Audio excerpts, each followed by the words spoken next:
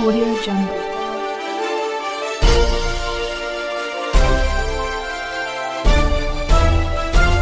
Audio Jungle.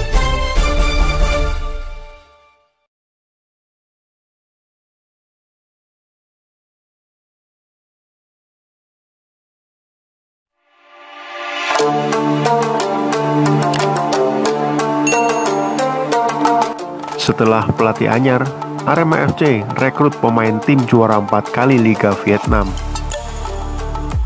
Dua pekan jelang kompetisi Liga 1 2020 kembali digelar, pelatih anyar Arema FC akhirnya tiba di Malang.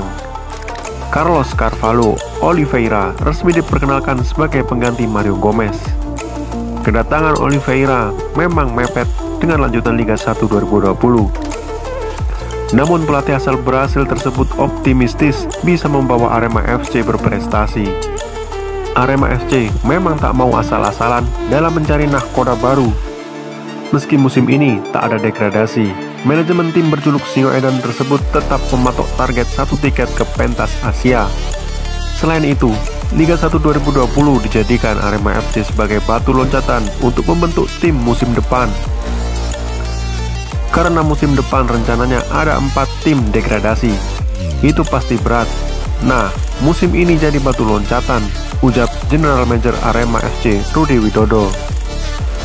Kalau pelatih bagus, musim depan pasti akan kami pertahankan. Ini juga berlaku pada pemain. Kalau bagus, pasti kami akan pertahankan ibu pria asal Madiun tersebut.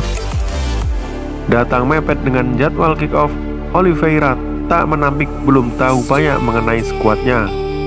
Namun sebelum kedatangannya ke Malang, pelatih yang pernah menangani juara empat kali Liga Vietnam, Bekamek Bin Duong tersebut sempat melihat kualitas pemainnya melalui video.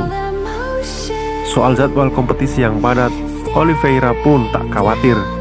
Dia optimistis bisa mengatasi masalah kelelahan akibat jadwal padat. Itu tak masalah, nanti kami pasti bisa mengaturnya beberapa banyak istirahat dan beberapa banyak waktu yang dijadwalkan untuk persiapan. Tutur Oliveira. Saya selalu ingin memberikan prestasi terbaik. Saya tegaskan, saya tidak main-main di sini. Ibu pelatih kelahiran 4 Juni 1961 itu. Di sisi lain, Oliveira juga paham Arema FC kehilangan beberapa pemain asing akibat tak sepakat dengan renegosiasi kontrak. Namun dia tak mau gegabah mencari pemain baru dia masih akan melihat kebutuhan tim seperti apa.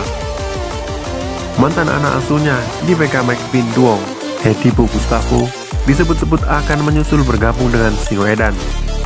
Hanya, Oliveira masih membantah kabar tersebut.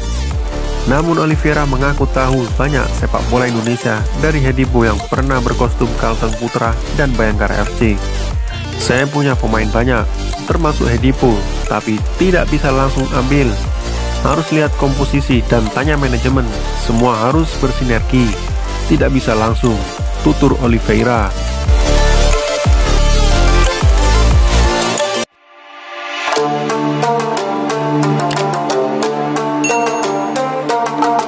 Setelah pelatih anyar, Arema FC rekrut pemain tim juara 4 kali Liga Vietnam. Dua pekan jelang kompetisi Liga 1 2020 kembali digelar, pelatih anyar Arema FC akhirnya tiba di Malang. Carlos Carvalho Oliveira resmi diperkenalkan sebagai pengganti Mario Gomez. Kedatangan Oliveira memang mepet dengan lanjutan Liga 1 2020. Namun pelatih asal Brasil tersebut optimistis bisa membawa Arema FC berprestasi. Arema FC memang tak mau asal-asalan dalam mencari nahkoda baru. Meski musim ini tak ada degradasi, Manajemen tim berjuluk Singo Edan tersebut tetap mematok target satu tiket ke pentas Asia. Selain itu, Liga 1 2020 dijadikan Arema FC sebagai batu loncatan untuk membentuk tim musim depan. Karena musim depan rencananya ada empat tim degradasi. Itu pasti berat. Nah, musim ini jadi batu loncatan, ujar General Manager Arema FC Rudi Widodo. Kalau pelatih bagus, musim depan pasti akan kami pertahankan. Ini juga berlaku pada pemain. Kalau bagus, pasti kami akan pertahankan ibu pria asal Madiun tersebut.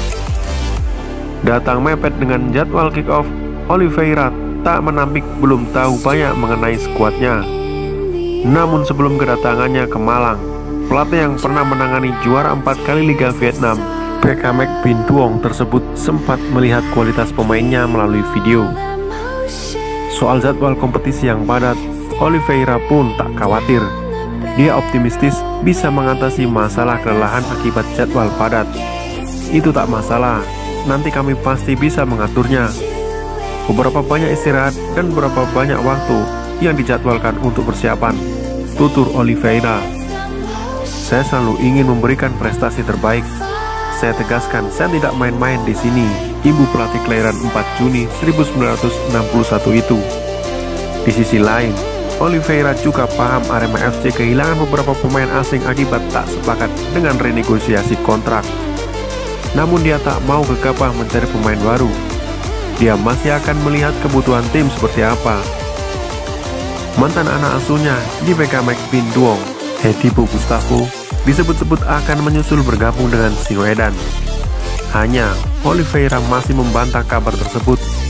Namun Oliveira mengaku tahu banyak sepak bola Indonesia dari Hedipo yang pernah berkostum Kalteng Putra dan Bayangkara FC. Saya punya pemain banyak, termasuk Hedipo, tapi tidak bisa langsung ambil. Harus lihat komposisi dan tanya manajemen, semua harus bersinergi tidak bisa langsung, tutur Oliveira